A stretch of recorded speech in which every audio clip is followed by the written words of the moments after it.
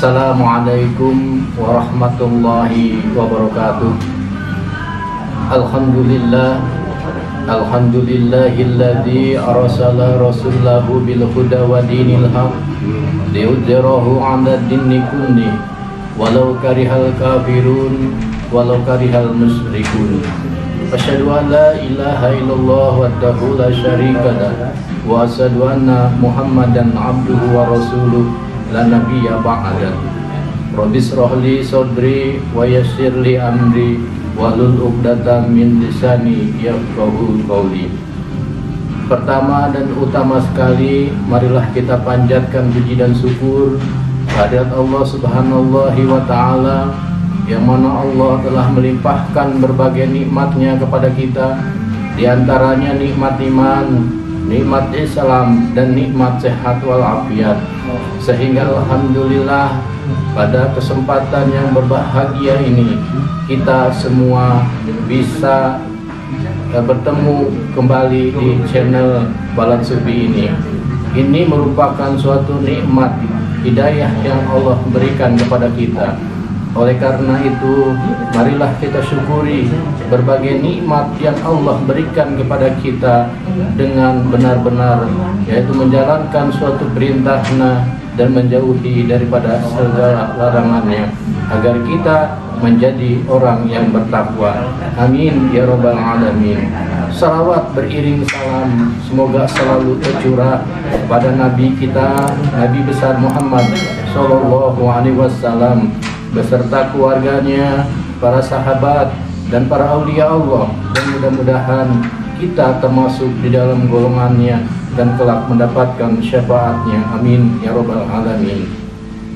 Para pemirsa channel Balat Sufi yang dirahmati Allah pada malam yang berbahagia ini di Hotel Braga saya Yang Udin akan memberikan suatu amalan yang mana mungkin ini berguna bagi suatu keluarga yang ingin mempunyai suatu keturunan. Keturunan di mana itu adalah hal yang diharapkan oleh uh, keluarga. Mungkin udah berapa puluh tahun misalnya kan satu tahun dua tahun dan sebelas tahun kemungkinan belum diberikan suatu keturunan. Maka Jamudin akan memberikan suatu amalan yang insya Allah bisa bermanfaat bila didawamkan. Pertama, yakni mem membaca syahadat. Asyhadu alla ilaha illallah wa asyhadu anna Muhammad Rasulullah. Itu tiga kali. Kemudian membaca istighfar karena kita banyak sekali di dalam kehidupan ini banyak noda dan dosa. Oleh karena itu kita memohon ampunan kepada Allah yaitu dengan baca istighfar sebanyak 300 kali. Kemudian dilanjut dengan membaca suratul fatihah itu sebanyak 41 kali. Dan ini didawamkan selama 40 hari. Insya Allah ada hasil yang mujarab. Mudah-mudahan dengan proses doa tersebut amalan tersebut bila yakin atas uh, apa amalan tersebut dan mengharapkan suatu kemukjizatan insya Allah Allah akan memberikan uh, cepat momongan.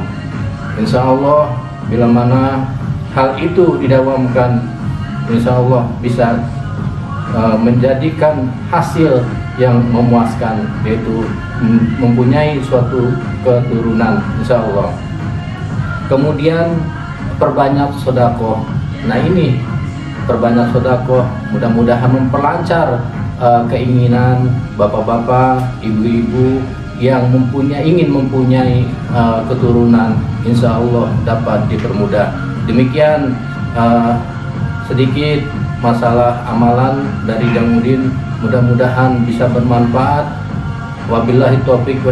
Wassalamualaikum warahmatullahi wabarakatuh.